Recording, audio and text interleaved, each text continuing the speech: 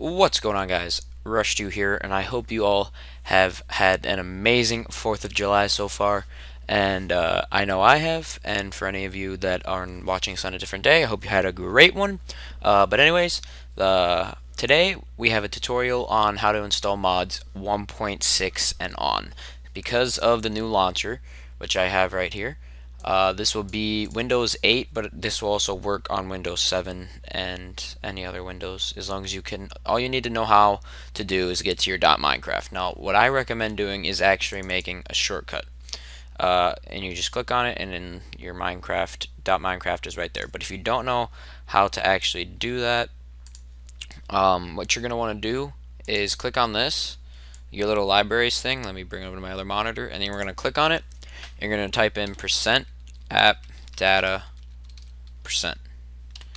That's how you find it on Windows 8. If you're in Windows 7, you can go to the little search bar that's down here where this Internet Explorer symbol is. And then, uh, but then you're going to want to click on .minecraft and everything is right there. So the next place you're going to want to go is versions. So here is your normal Minecraft. Now the reason that they changed like the reason that everything is changing for how you install mods is because of um, is because the um, like when you every time you open the launcher so I'm gonna open up the launcher I'm gonna drag it over here. So I open up the launcher right? Now I have if I have it on default and I don't have anything else. Like I have I have my own profile for vanilla because uh, I'm just gonna keep it like that. But then what you do is when you hit play on default, um, I don't know why it's saying play offline, but and then you click on vanilla and you just click play. There you go, and then Minecraft opens up, and there you go.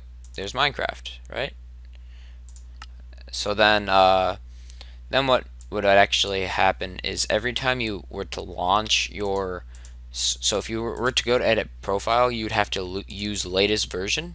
So your latest version would always show up right there, and you wouldn't be able to update it every and it, it updates automatically every single time you log on, unless you make a separate folder that you play out of, which is what we're gonna have to do. I don't know if you guys got that. I got it, but whatever. Switch. The first thing you're gonna do is you're gonna want to copy this. I'm gonna do this for ModLoader and Forge because ModLoader is harder than Forge now this time around. So then you have a copy. You're going to rename it. I'm going to rename this test ModLoader. I'm going to type that in. Actually, you can't do that because when you do this, there's no spaces. So I'm just going to do test. So no spaces. Then you're, what you're going to want to do is you're going to come in here, highlight both of these, uh, right click on them, rename test.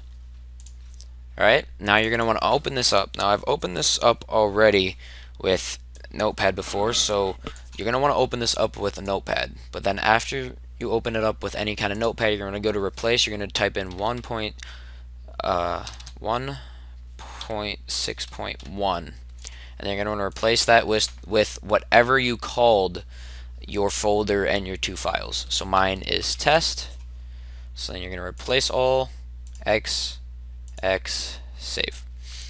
Now, what you're going to want to do now, since you have all of this, you're going to click on your test folder and then you're going to open up your jar.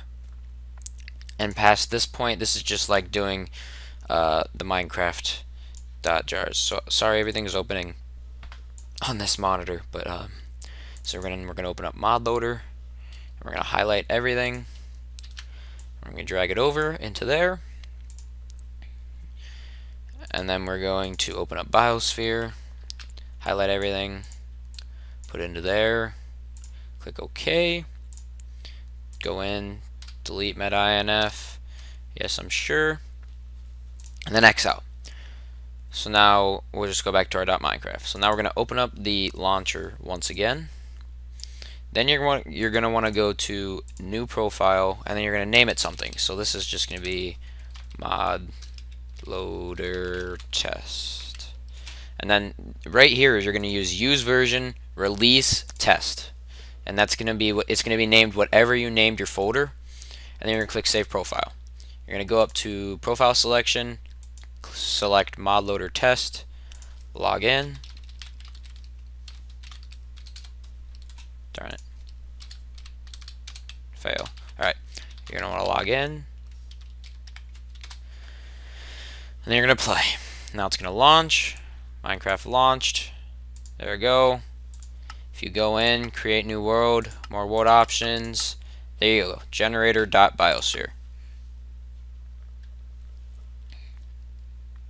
Now we'll just wait for it to uh, convert everything. It's gonna take a little while here because um, and it's gonna be really laggy when I actually get in. It's gonna be 30 frames because that's what I have my capture limit on, and that's why I had to stop using uh, Camtasia.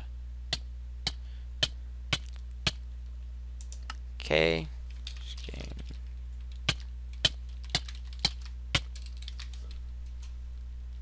Crap, I don't have permission to use the command. Hold on. I'm gonna regenerate a different one.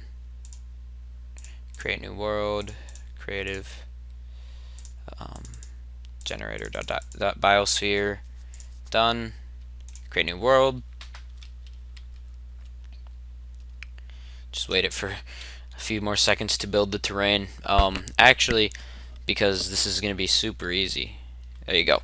So then you generated, you're on a biosphere, uh, I don't know why my sound's all the way down. Hold on. Shouldn't be all the way down. Whatever. My sound's all the way down, but I don't care. Um, and there you go. You're generated in a biosphere. And this is... What, is this? This is a plains biome for some reason. I think that's supposed to be jungle, but... But whatever. Oh, as you can see, it's super laggy when I record this with this, but when I record with Fraps, everything is super. So if we come down here, you'd see everything that's generated.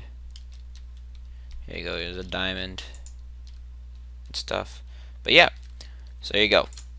Now, if you if you mess up or you want to do something else and you don't want to use that one, you're just going to go back into versions, delete test, and then you're good to go. I think when you come back here on your launcher, and then you do mod loader test, you're just going to go to edit profile, and then you can just name it something else. So that's what we're just going to do here, because we're just going to use the same thing.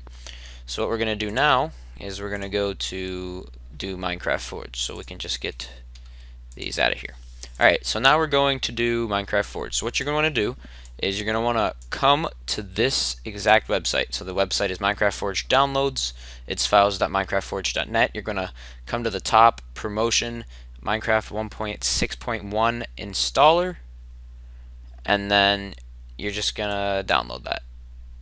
Um, now, the next thing you're going to do is you're going to want to open that file once you get it installed this little thing will pop up and you're going to click you can either install this on the client install this on the server or uh, you can extract it for personal installation but next you're going to want to just click OK and then this little message right here will pop up and it'll say successfully installed client profile forge for forge version 0.8.9.0.711 into launcher so now you see this folder here. This is your Forge. You can rename it to anything you want. You can just rename it to Forge. And then you're just going to go into here. You're going to hit rename Forge. And then you're going to open this up. You don't have to edit these if you don't want to, but I like my stuff to look neat. So you're just going to open it, and then you're going to click replace Forge, whatever it is. What was it? Forge. Actually, hold on. Uh, I think, okay, here it is. So you're going to replace this, copy. So let's see. Replace like that with Forge. And then replace all. And then you're going to X, save, and then you're going to go into your launcher once again, right here, pull it up, and we're going to edit profile, release forge, forge, test. You're going to go back to your .minecraft, you're going to save profile, you're going to create a folder, you're going to click New, Folder, Mods. Click that in there. And then you're going to drag Rei's Minimap into there. And you're going to click Play off. Ah, oh, crap. Oh, I messed that up. So you're actually going to want to do Forge Test. And then you're going to click Play. Now it's going to download everything that you need for Forge right here as you can see it scrolling really heavily you can close the game if the launcher you can close the, close the launcher if the game started blah blah blah blah blah all that stuff. And then it says Ray Map activated and there you go.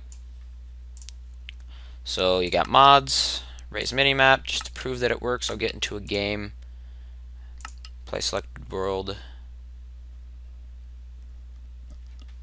And then you can see right there the minimap is up in the top right corner as I lag out of my mind but yeah anyways guys that pretty much wraps it up for how to install mods on Minecraft Forge and ModLoader so I will definitely be keeping this installer for uh, till the end of time so anyways guys thanks for sticking around and uh, supporting the video. I'll talk to you all later. Hope this helped. Peace. Thank you.